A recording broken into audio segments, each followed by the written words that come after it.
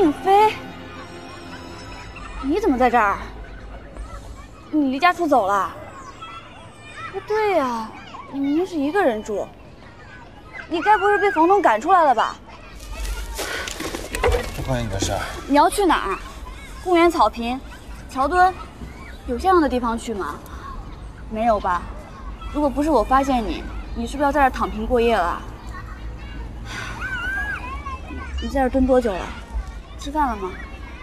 吃过了。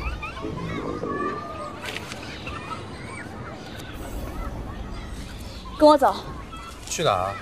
还能去哪儿？回家，先把肚子填饱再说。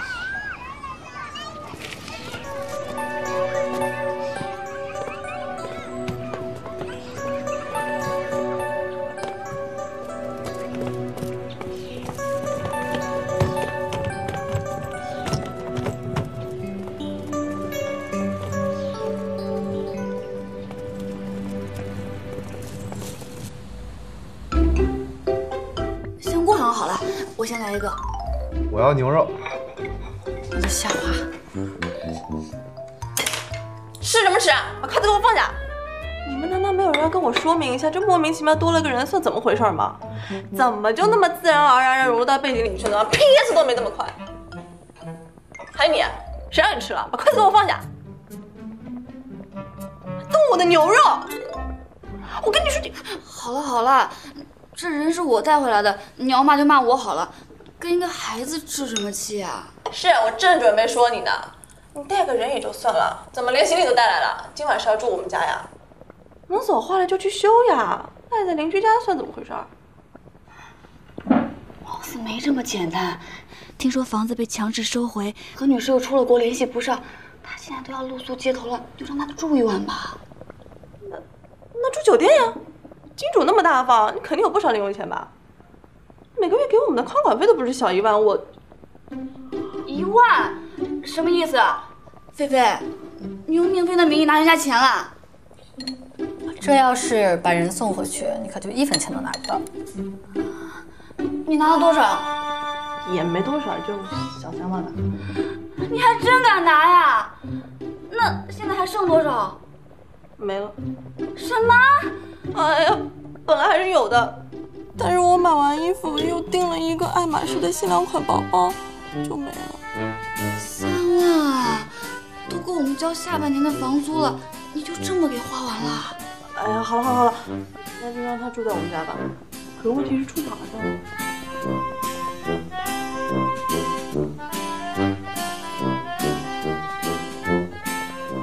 哎呀，你可真行啊！竟然把我衣橱的窗帘拿来了。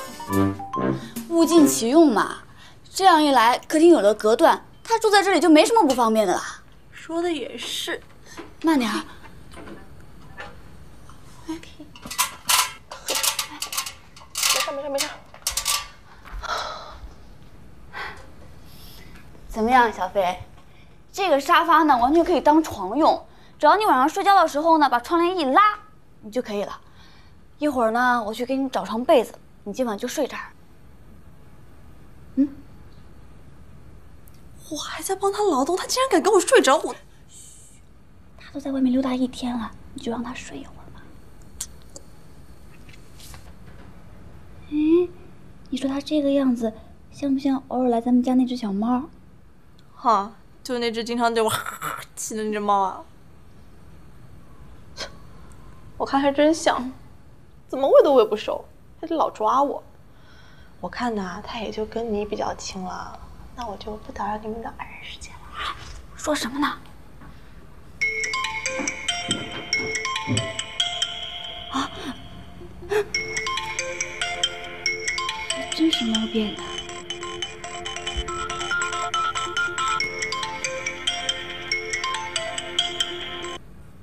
喂，妈。哎，我挺好的，你呢？爸爸他……你放心吧，钱的事我来解决。我们发奖学金了，明天我就寄回家里，能凑一点是一点吧。哦，我真的挺好的，你放心吧。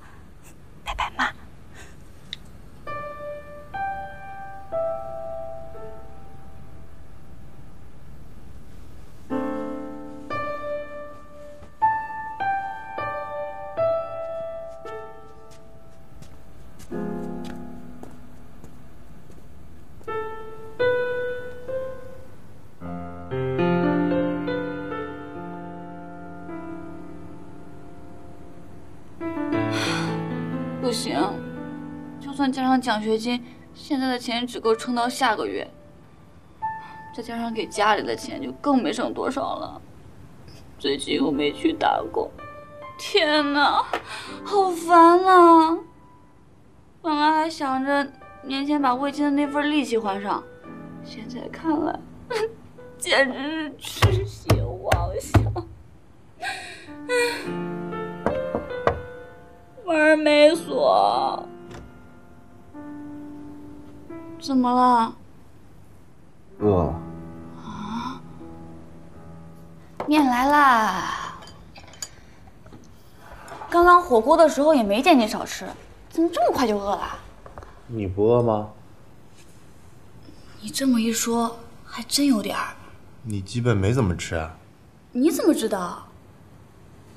我一直看着。你这孩子心思怎么那么多呢？吃个饭还计算人饭量，累不累啊？不吃饭，晚上会做噩梦的。真会借花献佛。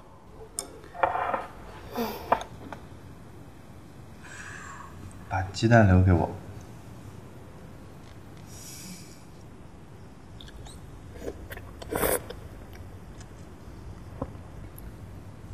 那个，我吃饭的时候不喜欢太安静，你能发点声吗？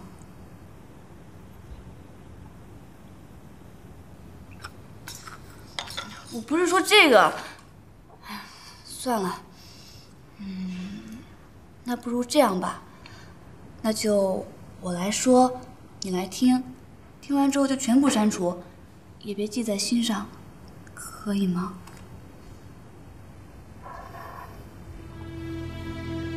我爸爸呢，他欠了很多债，那时候我才十一岁，每天都有人到我们家里来要债，我妈妈就抱着我哭。后来，我们就一路躲债来到了宁海，从此以后我就再也不相信天上会掉馅饼，也最恨欠人东西，而最最恨的，就是因为自己的错误连累到家人。可是我现在。就犯了一个天大的错误，我欠的债务远远超过了我爸爸，可能这辈子都还不完了。除非我愿意放弃掉一些东西。你说我不要，不要答应。嗯，我也是这样想的。呃，好了好了，说太多了。我先去睡觉了，嗯，就全忘记吧。要不要再等一下？可能马上就到了。是他自己不领情，就不要怪我不给他机会了。完了，完了，完了！刚刚路上堵车，不好意思啊。晚了。啊？我不是刚好踩着点了吗？已经过了我心里的时间了，我还要去开会。等等，我答应你。在还清债务之前，我会待在你身边。招之即来，挥之即去。可以。十米之内，寸步不离。行。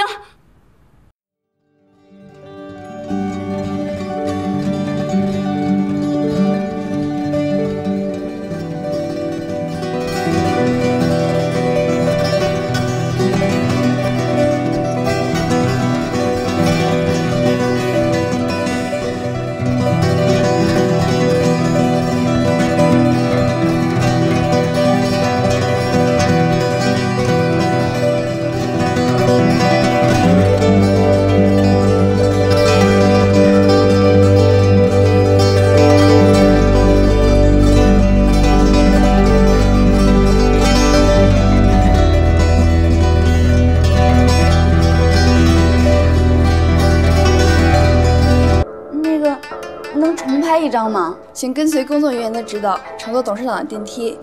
祝您拥有美好的一天。这边请。当我没说。周小姐，这边请。